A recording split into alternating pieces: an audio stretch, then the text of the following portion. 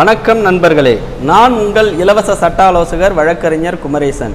இப்போ நம்ம பார்க்க போகிற தலைப்பு வந்து நீங்கள் அன்றாடம் குடும்பங்களில் நடக்கக்கூடிய செய்திகள் தான். மற்றும் நீங்கள் செய்தித்தாள்களில் தொலைக்காட்சி செய்திகளில் பார்க்கக்கூடிய ஒரு நிகழ்வாகவும் உங்கள் அக்கம் பக்கத்தினரையே நடக்கக்கூடிய ஒரு நிகழ்வாகவும் இருக்கிறது.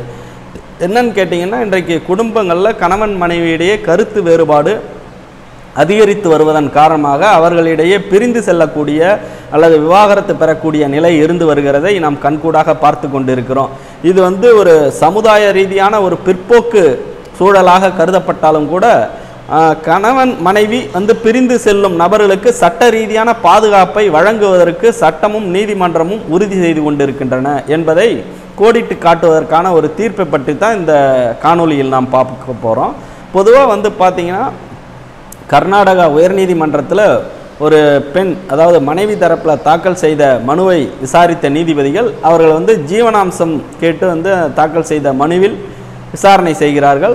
அப்போ வந்து பார்த்தீங்கன்னா மனைவி என்பவர் வந்து முழுமையாக கணவனை மட்டுமே சார்ந்திருக்கக்கூடிய நபராக இருக்கக்கூடாது. அவர்களும் பொருளாதார ரீதியாக வளம் பெறுவதற்கு போதிய முயற்சிகளை மேற்கொள்ள வேண்டும் என்றும் உத்தரவு பிறப்பித்துள்ளது.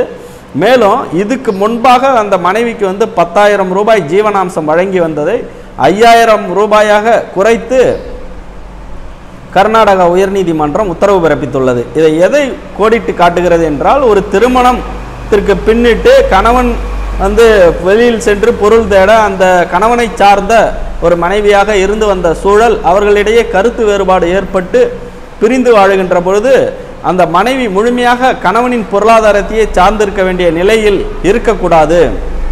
அவர்கள் தாமும் தம்மை பராமரிப்பு கொள்வதற்காக போதிய முயற்சிகளை எடுக்க வேண்டும் என்ற நோக்கத்தின் அடிப்படையிலும் அந்த மனைவியினுடைய மனித வளம் பாதுகாக்கப்பட வேண்டும். அந்த மனித வளம் பயன்படுத்தப்பட வேண்டும். அது வந்து அவருக்கும் அவரது வீட்டுக்கும் நாட்டுக்கும் பயன்பட வேண்டும் என்ற நோக்கத்தின் அடிப்படையிலும் இந்த தீர்ப்பு வழங்கப்பட்டுள்ளது குறிப்பிடத்தக்கதாக இருக்கிறது. அதுவே வந்து அந்த மனைவிக்கு குழந்தைகள் இருக்கும் சூழலில் வந்து பார்த்தீங்கன்னா அந்த குழந்தைகளின் பராமரிப்பு தொகையை அந்த கணவன் தான் செலுத்த கடமைப்பட்டவராக இருக்கிறார் என்பதை சட்டம் வலியுறுத்தி கோடிட்டு காட்டுகிறது. ஏன்னா குழந்தைகள் வந்து கல்வி கற்க வேண்டும் பள்ளிக்கு செல்ல வேண்டும் அவர்களுக்கு மாதாந்திர பராமரிப்பு செலவு இருக்கிறது. அதை முழுமையாக அந்த தந்தை தான் ஏற்க வேண்டும் என்பதையும் சட்டம் வலியுறுத்துகிறது. ஆகவே அந்த கர்நாடக உயர்நீதிமன்ற தீர்ப்பின்படி ஒரு மனைவியானவர் கணவனை பிரிந்து விவாகரத்து பெறுகின்ற சூழலிலோ அல்லது விவாகரத்து பெற்றுவிட்ட சூழலிலோ தனக்கான பராமரிப்பு செலவை தானே பூர்த்தி செய்து கொள்வதற்கு தம்மால்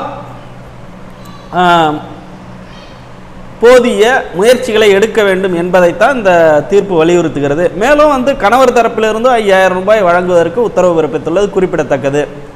இந்த காணொளி மூலம் நம் தெரிய வருகிறது என்னவென்றால் மக்களிடையே குடும்பங்களில் நடக்கக்கூடிய பிரச்சனைகளுக்கு சட்ட ரீதியான தீர்வு காண்பதற்காக இந்த தீர்ப்புகளும் மற்றும் சட்ட கோட்பாடுகளும் வகுக்கப்பட்டுள்ளன. இந்த குடும்பங்களில் இருக்கக்கூடிய பிரச்சனைகளுக்கு உண்டான தீர்வு சம்பந்தமாக இந்த காணொளியில் நாம் வந்து பதிவு செய்திருக்கிறோம். ஏன்னா மக்களிடையே சட்டத்தின் அடிப்படை கூறுகள் பரவலாக்கப்பட வேண்டும் என்ற நோக்கத்தின் அடிப்படையில் இந்த காணொளி பதிவு செய்யப்படுகிறது. இது போன்ற சட்டம் சம்பந்தமான தகவல்கள் மற்றும் நீதிமன்ற தீர்ப்புகளை நாங்கள் உடனுக்குடன் பதிவு செய்து கொண்டு வருகிறோம்.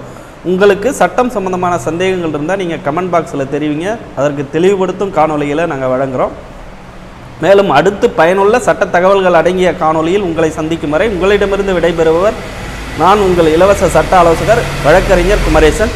நன்றி வணக்கம்.